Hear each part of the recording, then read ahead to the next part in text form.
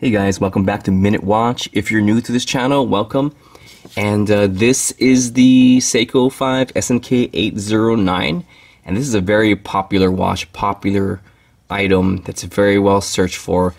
And a lot of people, uh, well, some people get disappointed by this watch. And it has been my mission to undisappoint people. And I believe that I found a few ways to make this watch better. Uh, as you can see in the uh, in the description of this video. We're going to polish it, but not right now. We're just, just briefly talk about it. Not going to be a re real review video. If you want a, review video on this watch, uh, uh, there is uh, another video that I have with the SNK 803, which is basically the same. So please look for that one. Anyway, this uses the Seiko's S, uh, 7S62C automatic mechanical movement. It beats at 21,600 beats per hour, employs 21 jewels for the uh, smoothness of the movement. Has a 40 hour power reserve, is accurate to minus 20 to plus 40 seconds per day average. Has a Hardlex mineral crystal front and back. The movement is not hackable. You can't pull out the crown and stop the second hand. And it is not windable. You cannot wind it. So you definitely need to just shaky shaky. It's just a shaky shaky watch. But because this movement is extremely efficient, just a few shakes, it will get it right going. So, let's get to the measurements. It's very uh, relatively small case. It's uh, 37.1 millimeters. So we'll say 37. Lug to lug about 43 millimeters. Lug width 18 millimeters. Thickness 10.4 millimeters. so a relatively small watch, and a lot of people are disappointed by that because of its small size especially because of the 18 millimeter strap and it does look real small. Let me put it on my wrist for you. And while it won't look small through the video because of the way the lens is uh, it, it does feel really small on my wrist. I'm not gonna, I'm not gonna bother with the other strap but I have a 6.7 uh, inch wrist and I don't know if you can tell but it does look small. Some might say it looks perfect but to me it looks small. I'm used to I'm used to uh, bigger watches, and it's also because of these lugs are just kind of they're not too they don't stick out too much, and it just feels feels kind of small. I've seen some people call this a girly watch. Uh, I disagree. I think it's I think it's a good size. It just it just needs a little extra to make it right, and I'll show you later on what I mean about that. Let's briefly uh, check out the lume here. I'm going to set the ISO to ISO 1600 to better reflect what's in my face and uh, use a big ass X-Star light here. I'm gonna just blast this here with a tremendous amount of light. Turn my tablet around, and there you go. So you know, it's actually for what you're getting for the amount of surface area. It's not bad. I'll give it maybe, I'll give it maybe a 7.5 out of 10. It's not bad but you're not going to be buying this watch for lume. Despite that, it does last a long time. It's just not super bright like an Orange Monster or an Omega, but uh, it, it's it's okay. Let me just turn on that light, ISO back down to 125. All right, so let's see what's next on the list of things to talk about. Okay. So yeah, so I've been searching for a, the right strap for this watch, and I believe I found it I'm still gonna search for more straps so, so I can show you guys what I found but I, I think I found a really good one for this and I'll show you why later on. But let's get to the polishing. I'm going to take off the strap here. The strap comes off really easy because the canvas just just melts away. And uh, I'm not gonna bother with taking out the movement.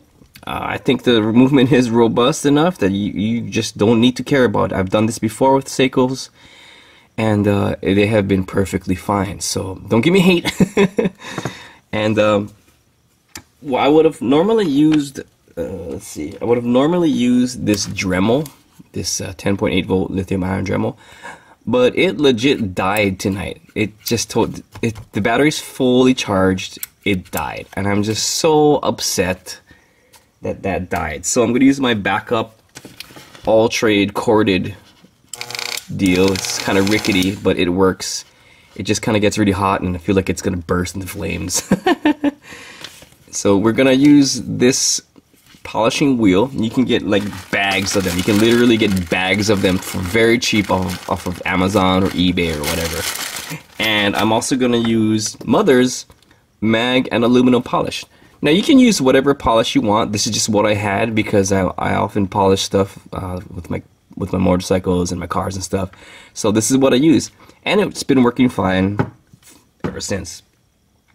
I highly recommend you put on eye protection because the polishing process will shoot the polish into your face if you're not careful, and uh, employ a lot of a lot of rags here and there. Oh my god! All right, let's put this old crappy rag out here. There you go, and then uh, just start the process. Okay. Now, so I'm just gonna just, just, just get it going. So I'm gonna put a little bit of polish, just a little bit on the edges of the wheel, and then I'm gonna turn it on. It's gonna start spewing polish all over the place. I'm just gonna, and now this doesn't work. What the frick? Oh, there you go. Oh boy. And uh, I'm just gonna, oh, there you go. It's just shooting polish all over. and I'm just gonna start going to town. Just gonna begin right away. Just gonna start going to town. Use nice even movements. Don't uh, don't press down too hard. This is not gonna take you very long, but you you do want to spend a long time on the fine details. Just uh, go slowly. Take your time. This will probably take you about maybe about eight hours of polishing and finally polishing to get it right. And uh, I will just do this little spot to show you how the process begins. And then I will totally totally finish it and then come back. So let's uh, turn up this loud ass thing here. And then already you can see already you can already see with just that little bit amount of, of love that it is already starting to shine now it doesn't take much to to shine up these watches. The bead blasting is very fine, and you can go down very very well. Uh, the hardest part will be able will be getting between the bezel and the top of this case right here, but that won't be a problem. Don't worry about this crown; just go right over it. The crown will actually polish up really nicely, and uh, yeah, I'll be back in a little while after I polish it. All right, we're back, and now I spent a couple hours on this, but here we go. Here's the finished product of that SNK 809. I tried to get as much of the surfaces as possible, but I think it came out pretty nice. And it won't be perfect, guys. Just letting you know, it won't be perfect. Uh, basically, you gotta just be patient when you're polishing these things. Just, just uh, do a little bit, put it down, come back later, do a little bit more. It's gonna take a while there's going to be a lot of things that uh, you're going to have to go over and over and over again.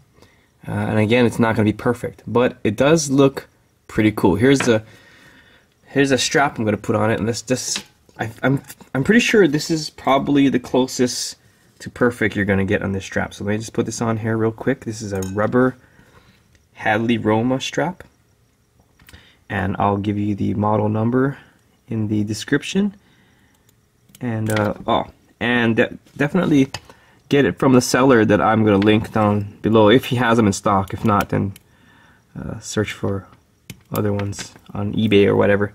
But the seller I listed in, in the description is really cool. This guy Dino he's a real cool guy. He takes care of his customers. Top-notch seller. I highly recommend. Go check out his store uh, check out his store to look at other other straps and stuff and uh, uh get in there Get in the belly. Get in the belly. Get in the belly. It doesn't want to go in the belly, guys. What the hell? Come on, find the hole. This is not seventh grade again. What the hell? What? Fail. There you go. I'm gonna give it a little wipe. Give it a little wipey wipe for the for the boys. And there you have it. So here is the new and improved Seiko SNK 809. Now, what do you think about that? See how the uh, this strap kind of kind of uh comes outside of the lugs here? not just inside. Gives the watch a slightly bigger feel. Uh, it, it, doesn't look so girly on your wrist. Uh, it does taper down to 16 millimeters. I wish it was just 18 all the way across, but because it tapers out from outside the lug, uh, outside of the lugs, it does give a better feel. But would you just look at it? It looks way different, wouldn't you say? It looks tremendously different. Now let me put it on my wrist. Gonna take off the watch I'm wearing. Put it on my wrist. And uh, I don't know if you guys have, if I've mentioned this before, but this particular watch is. Oh, would you just look at that? Would you just look at that? Oh my goodness, yeah, yeah. Do you like it? Seiko, you should make a version just like this, a super polished version. I'm sure people will buy it. What are you guys doing? Make both versions, okay? Make it the SNK 809P or something, you know? So yes, it still looks small, but it's very wearable now with this bigger strap and it's thick you know so it's a, it's a thick strap so it doesn't it's very comfortable. This strap is very comfortable and this watch is just beautiful now. I love it. So I don't know if I mentioned this before but in the near in the near future stick around stick around this channel subscribe. This particular watch is gonna go on a super adventure to see if it can handle the rigors of a killer gnarly adventure. And uh, this this watch is going to travel a couple thousand miles, and it's going to go through some rough terrain on dirt bikes, uh, jumps, possible crashes, just gnarliness. And we'll see if uh, if it handles. I'm going to time the watch before I go on that trip, and I'm going to time it after. So look forward to that in the months to come. And uh, hope you like this, uh, how to polish this watch. And this is just beautiful, yeah? All right, thanks for watching.